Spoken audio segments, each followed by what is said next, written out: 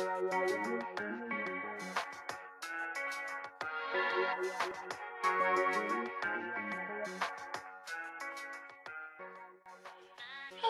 so this is a contest entry. It's a tutorial on Halloween look for makeup, or you can do makeup and hair, or you can just do a full look.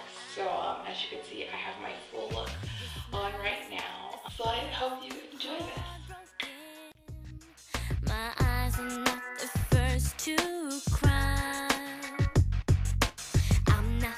first know there's no getting over you.